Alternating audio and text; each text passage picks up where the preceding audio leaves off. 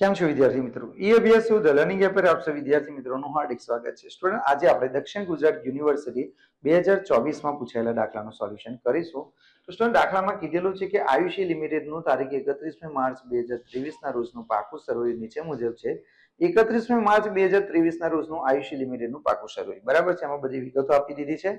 તમારા દાખલામાં શું કીધેલું છે તે જોયેલું સ્ટુડન્ટ. દાખલામાં તમને કીધું છે, ભરપાઈ મૂડીના વીસ ટકા શેર બાયબેક દરેક રૂપિયા સોલ પ્રમાણે કરેલ છે. એટલે કે તમારી પાસે જે ઇક્વિટી શેર મૂડી છે, એ ઇક્વિટી શેરમાંથી તમારે વીસ ટકા ઇક્વિટી શેર સોળ રૂપિયા પ્રમાણે પરત કરવાના છે.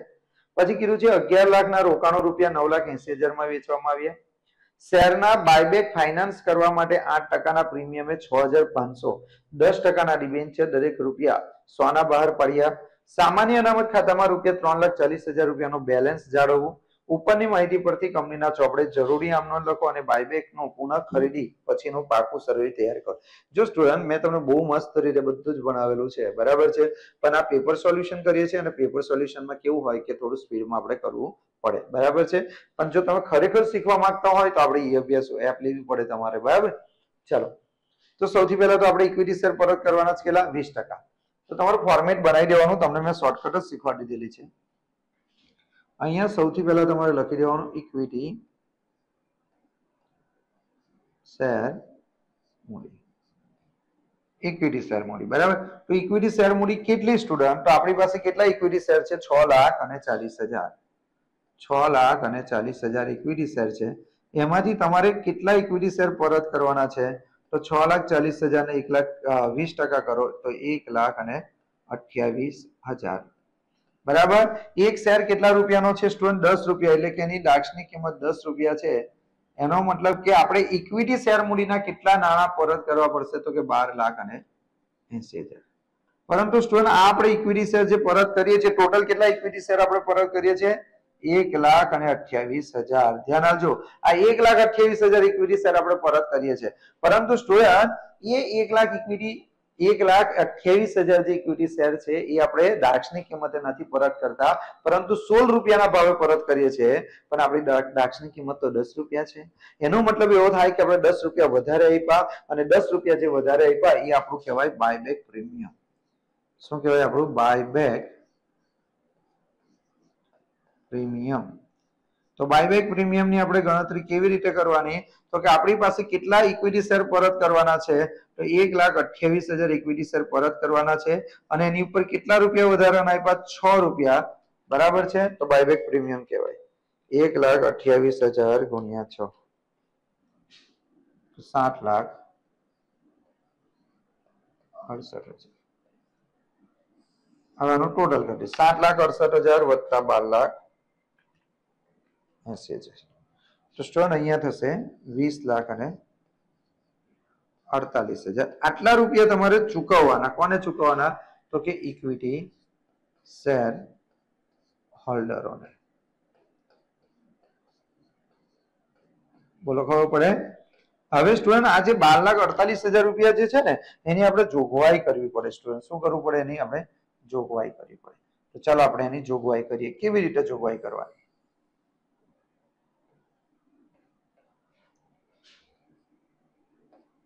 જોગવાઈ કેવી રીતે કરવાની સ્ટુડન્ટ તો કે આપણે જે વીસ લાખ અડતાલીસ હજાર રૂપિયા જે ચૂકવવાના છે એને અલગ અલગ કરીને ચૂકવવાના એટલે કે ઇક્વિટી શેર મૂડીની જોગવાઈ અલગથી કરવાની અને બાયબેક પ્રીમિયમની જોગવાઈ પણ આપણે અલગથી કરવાની તો સૌથી પહેલા આપણે બાયબેક પ્રીમિયમની વાત કરીએ તો અહીંયા આપણે લખી નાખીએ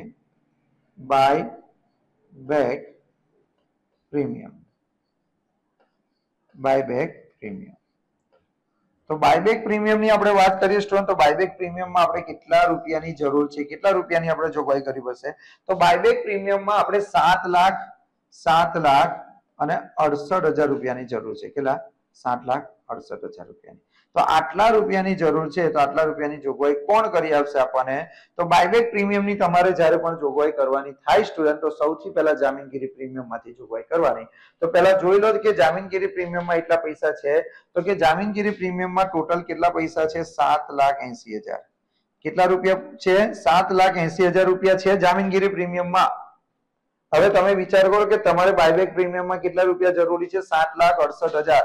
તો સાત લાખ અડસઠ હજાર એમાંથી તમે કાઢી લો. એટલે જામીનગીરી પ્રીમિયમ અહીંયા ઘટી જશે અને કેટલા થઈ જશે? બાર હજાર રૂપિયા. જામીનગીરી પ્રીમિયમ તમારો હવે કેટલું થઈ જશે? અહીં બાર હજાર. એનો મતલબ કે બાયબેક પ્રીમિયમ આપણે જામીનગીરી પ્રીમિયમમાંથી એની જોગવાઈ કરવાની. તો લખવાનું જામીનગીરી પ્રીમિયમમાંથી કેટલા? સાત લાખ અડસઠ હજાર.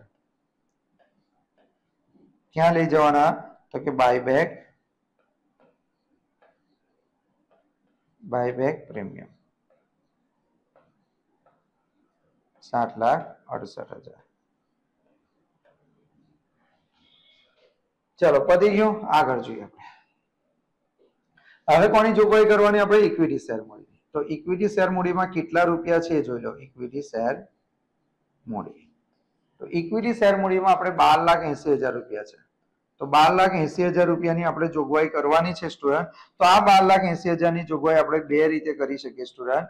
એક, નફામાંથી એક નફામાંથી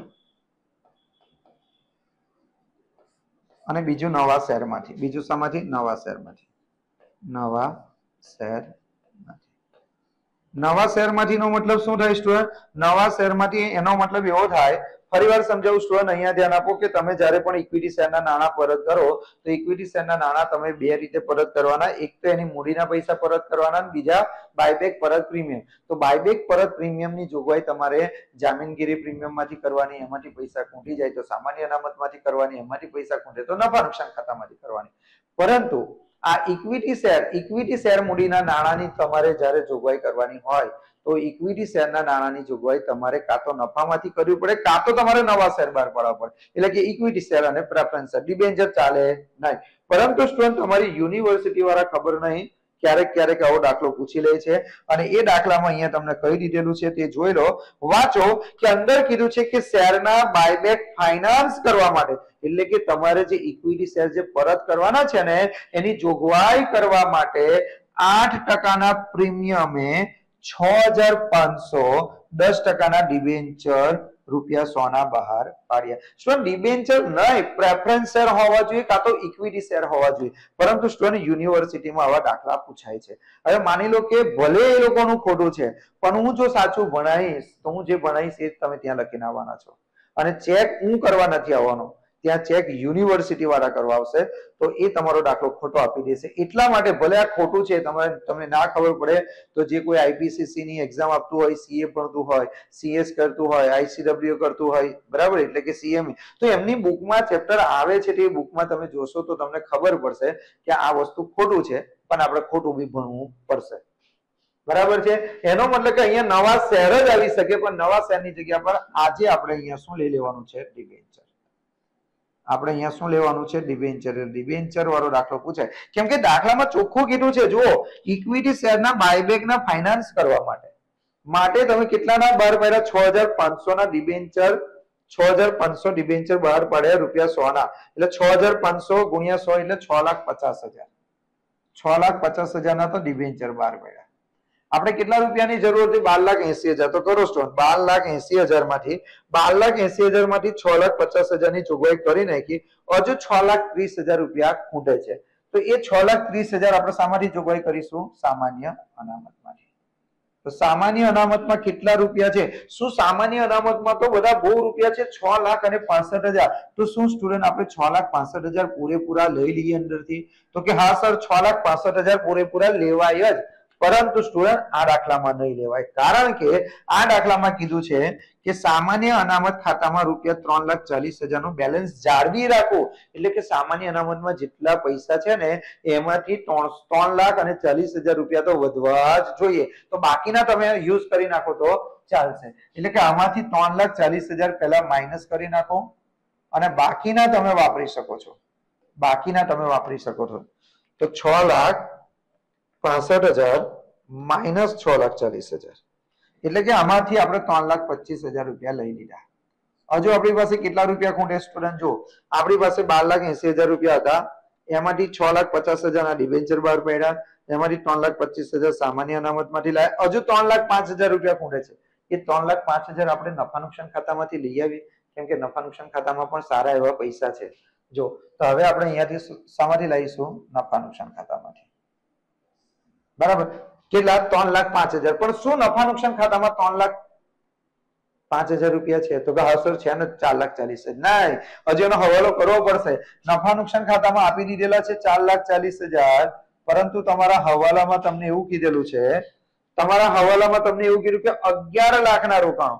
તમારી પાસે અગિયાર લાખ રૂપિયાના રોકાણો હતા એ રોકાણો તમે નવ લાખ અને એસી હજારમાં વેચ્યા સ્ટુડન્ટ તમે જરા થોડું વિચારો બુદ્ધિના દ્વાર ખોલો અને વિચારો કે અગિયાર લાખ રૂપિયાના રોકાણો જ્યારે તમે નવ લાખ વીસ હજાર રૂપિયામાં વેચો તો એક લાખ વીસ હજાર રૂપિયાનું તમારું નુકસાન થાય અને નુકસાન થાય તો તમારા ન- નફા નુકસાન ખાતામાંથી એટલા પૈસા ઓછા થઈ જાય તો હવે તમારા નફા નુકસાન ખાતામાં કેટલા રૂપિયા વધ્યા તો કે ચાર લાખ ચાલીસ હજાર ચાર લાખ ચાલીસ હજાર માઇનસ એક લાખ વીસ હજાર તો સ્ટુડન્ટ ત્રણ લાખ અને વીસ હજાર રૂપિયા વધ્યા એટલે નફા નુકસાન ખાતામાં કેટલા રૂપિયા છે સ્ટુડન્ટ ત્રણ લાખ અને વીસ હજાર રૂપિયા છે પણ આપણે કેટલા રૂપિયાની જરૂર છે સ્ટુડન્ટ આપણે કેટલા રૂપિયાની જરૂર છે તે જુઓ બાર લાખ એસી હજાર માઇનસ કરો છ લાખ પચાસ હજાર માઇનસ કરો ત્રણ લાખ પચીસ હજાર સ્ટુડન્ટ આપણે ખાલી ત્રણ લાખ ને પાંચ હજાર રૂપિયાની જરૂર છે જ્યારે અંદર છે ત્રણ લાખ અને વીસ હજાર. તો ત્રણ લાખ વીસ હજાર રૂપિયામાંથી ખાલી ત્રણ લાખ અને પાંચ હજાર રૂપિયા લઈ લો. બરાબર? તો ત્રણ લાખ પાંચ હજાર લઈ લીધા ને પેલા ત્રણ લાખ પચીસ હજાર. આ પૂરેપૂરી રકમ જે છ લાખ ત્રીસ હજાર છે, એને મૂડી પરત ખાતામાં લઈ જાઓ. તો અહીંયા લખો મૂડી પરત અનામત. બોલો ક્લિયર ચાલો. હવે તમારે સ્ટુડન્ટ ફટાફટ આમનોન બનાવી દેવાની છે. બરાબર? તો આમનોન તો તમને આની ઉપરથી ખબર પડી જશે. ઉધાર ઉધાર અને જમા સ્ટુડન્ટ તો સૌથી પહેલા તમે બનાવો આમ નોંધ નંબર એક ઇક્વિટી શેર મૂડી ખાતે ઉધાર ઇક્વિટી શેર મૂડી ખાતે ઉધાર કેટલા બાર લાખ એસી હજાર તે તે બાયબેક પ્રીમિયમ ખાતે બાયબેક પ્રીમિયમ ખાતે કેટલા સાત લાખ અડસઠ હજાર અરે યાર સોરી હા થોડા લોચા વેગા ને અમુક વાર આપણે છે ને બીજા વિચારમાં ખોવાઈ જઈએ ને તો બી આવું થઈ શકે ભાઈ એટલે ધ્યાન પૂરેપૂરું આપવાનું અહીંયા શું લખવાનું આપણે બાયબેક પરત પ્રીમિયમ ખાતે ઉધાર પ્રીમિયમ ખાતે ઉધાર કેટલા રૂપિયા ઉધાર કરવાના બોલો તો સાત લાખ અડસઠ હજાર તે ઇક્વિટી શેર હોલ્ડરો ખાતે તે ઇક્વિટી શેર હોલ્ડરો ખાતે બંનેનું ટોટલ કેટલું વીસ લાખ અડતાલીસ હજાર ચાલો પતી ગયું ચાલો number two student number two માં આપણે શું કરીશું જો પહેલું આપણે આપણી આપણે અહીંયા થઈ ગઈ હવે અહીંયા અહીંયા ધ્યાન આપો આને કરવાનું સ્ટુડન્ટ ઉધાર આને કરવાનું ઉધાર અને આને તમારે કરવાનું જમા બરાબર તો અહીંયા શું કરવાનું સામાન્ય અનામત ખાતે ઉધાર કરો સામાન્ય અનામત ખાતે ઉધાર સામાન્ય અનામત ખાતે ઉધાર ત્રણ લાખ પચીસ હજાર બરાબર છે પછી નફા નુકસાન ખાતે ઉધાર નફા નુકસાન ખાતે ઉધાર ત્રણ લાખ અને પાંચ હજાર તે મૂડી અનામત ખાતે જમા તે મૂડી પરત અનામત મૂડી પરત અનામત ખાતે જમા કેટલા છ લાખ ત્રીસ હજાર ચાલો પછી ડિબેન્ચર બહાર પાડેલા ને તો બેંક ખાતે ઉધાર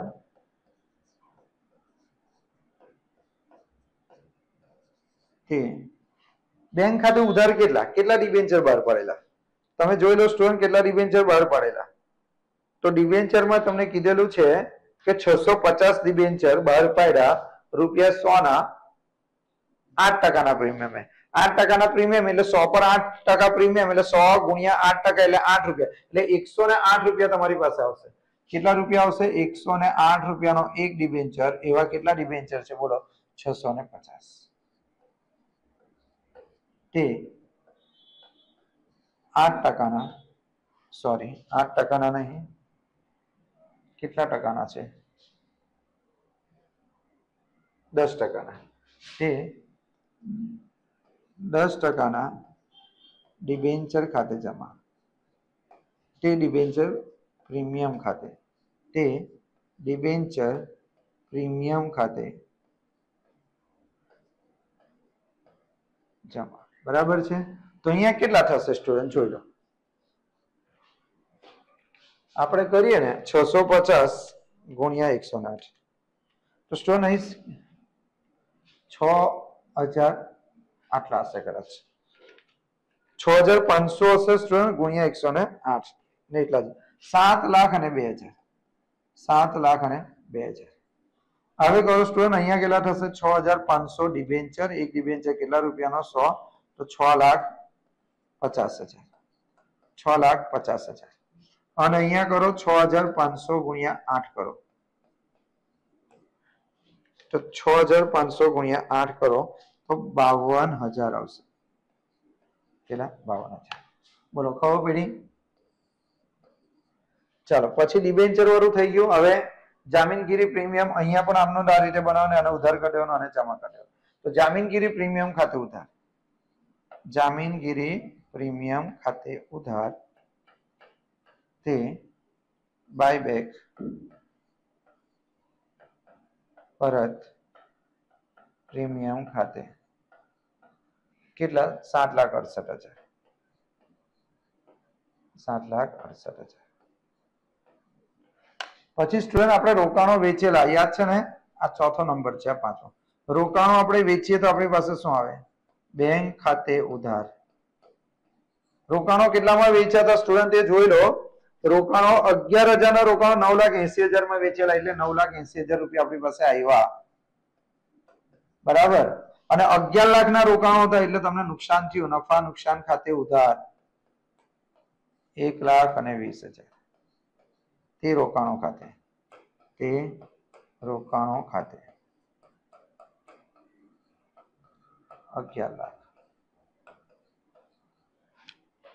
બરાબર નંબર સિક્સ હવે આપણે હવે ઇક્વિટી શેર હોલ્ડરોને પૈસા આપી દઈએ તો ઇક્વિટી શેર ઇક્વિટી શેર હોલ્ડરો ખાતે ઉધાર ઇક્વિટી શેર હોલ્ડરો ખાતે ઉધાર કેટલા રૂપિયા ચૂકવવાના છે વીસ લાખ અડતાલીસ હજાર વીસ લાખ અડતાલીસ હજાર રૂપિયા ચૂકવવાના છે તો વીસ લાખ અડતાલીસ હજાર તે બેંક ખાતે જમા તે બેંક ખાતે જમા વીસ લાખ અને અડતાલીસ હજાર. હવે મને કોઈ કહો તો, હજુ કઈ રહી ગયું? સામાન્ય અનામત થઈ ગયું બાયબેક થઈ ગયું, બધું પતી ગયું સ્ટુડન્ટ આટલી આમનું તમારી બનતે જો ઇક્વિટી શેર મૂડી ખાતે બાયબેક પરત ખાતે પ્રીમિયમ ખાતે ઇક્વિટી શેર હોલ્ડર સામાન્ય અનામત નફા નુકસાન ખાતું મૂડી પરત અનામત બેંક ખાતે ડિબેન્ચરની આમનોન જામીનગીરી પ્રીમિયમ બરાબર, રોકાણો ખાતે, ના બધું પતી ગયું સ્ટુડન્ટ બરાબર છે? હવે તમારે કરવાનું શું છે રોકડ કે બેંક ખાતું બનાવવું પડશે પાછું ચાલો તો અહીંયા લખી નાખો રોકડ કે બેંક ખાતું રોકડ કે બેંક ખાતાની કઈ બાકી આવે સ્ટુડન્ટ ઉધાર બાકી ઉધાર બાજુ લખો પહેલા બાકી આગળ લાવ્યા બનાવી દઈએ હા તો સારું નહીં બનાવો તો પણ ચાલે બરાબર છે તો જો રોકડ કે બેંક સમકક્ષ કેટલી છે બાર લાખ પાંત્રીસ હજાર બાર લાખ પાંત્રીસ હજાર અંદર જોતા જાઓ બેંક ખાતે કોઈ છે જો પહેલી આમનામાં બેંક નથી બીજીમાં બેંક નથી ત્રીજીમાં બેંક છે સાત લાખ બે હજાર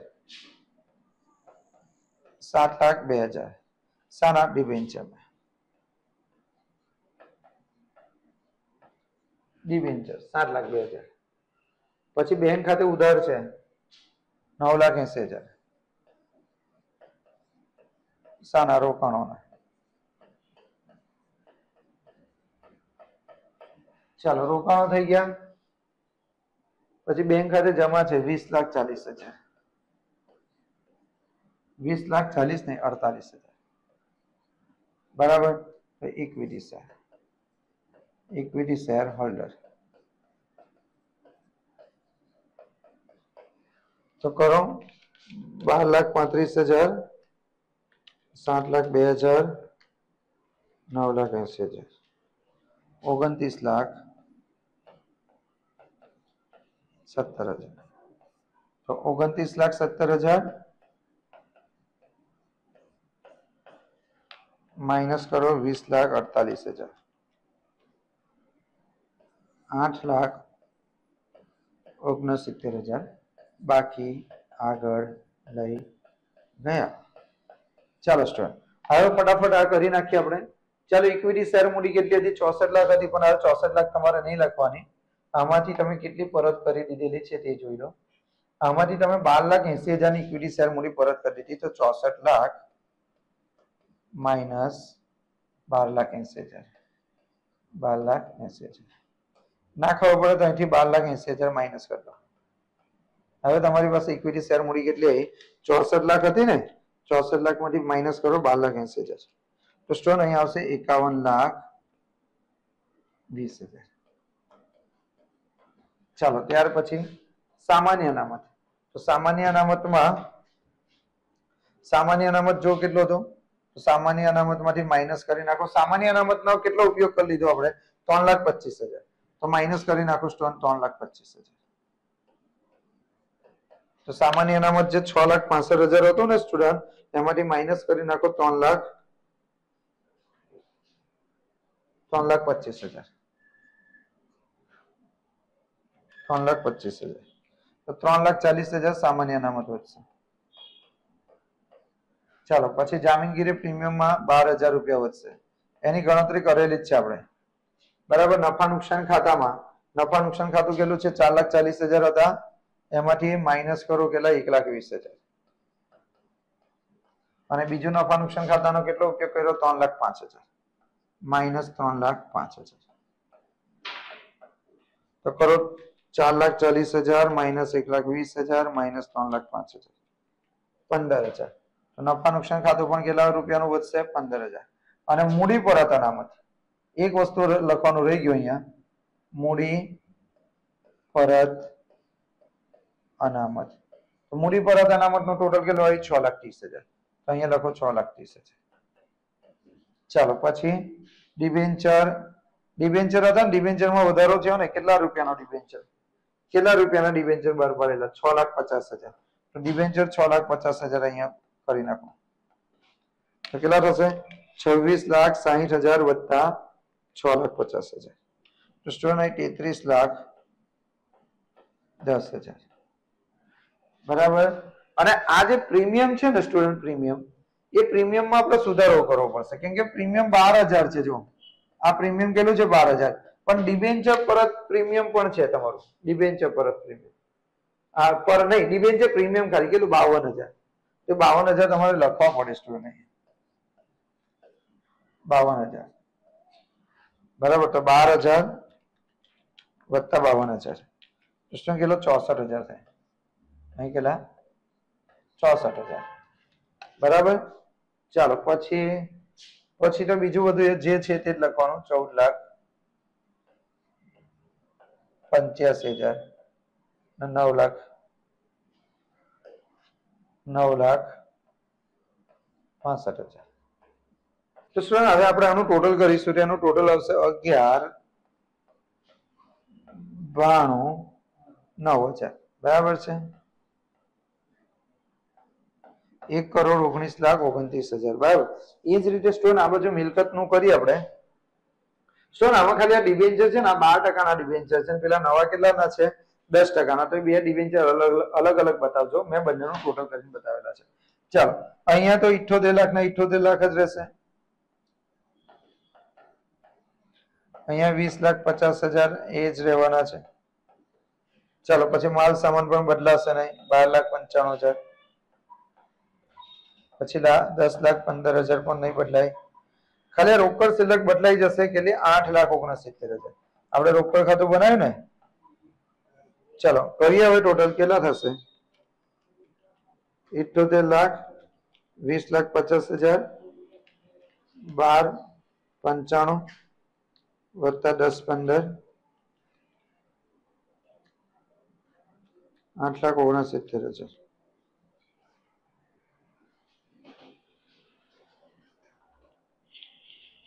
રોકાણો વેચી દીધેલા ને આપણે કેટલાના અગિયાર લાખના અગિયાર લાખના રોકાણો આપણે વેચી દીધેલા એટલે નવ લાખ પચાસ હજાર આવશે